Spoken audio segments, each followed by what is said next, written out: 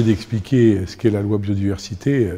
C'est un vaste sujet puisqu'il y a à la fois des principes, à la fois des outils qui vont être déclinés, créés pour améliorer les choses. Il va y avoir un, un gros monument qui va être l'Agence pour la biodiversité. Un dispositif qui est important, c'est la réparation du préjudice écologique. Il y aura des dispositions qui permettront de euh, réparer non pas le préjudice subi par une commune, non pas le préjudice subi par un individu ou par une société, mais le préjudice qui est subi par l'environnement en lui-même. Vous avez encore différentes choses sur la mer et les littoraux. Vous avez euh, infiniment de, sujets qui en eux-mêmes euh, auraient pu justifier un texte, mais euh, l'idée est de regrouper pour donner à la fois de la cohérence, de la transversalité, de l'efficacité, aussi faire des, euh, économies euh, pour essayer de doter la France de moyens supplémentaires pour reconquérir la biodiversité. On ne peut pas isoler l'agriculture, de l'environnement, l'eau, de la terre, euh,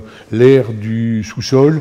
Quand on regarde les problèmes de biodiversité, on doit les regarder dans l'interaction qu'ils ont les uns à l'égard des autres. On est les uns et les autres responsables euh, de, de l'ensemble du système dans lequel on vit, du vivant.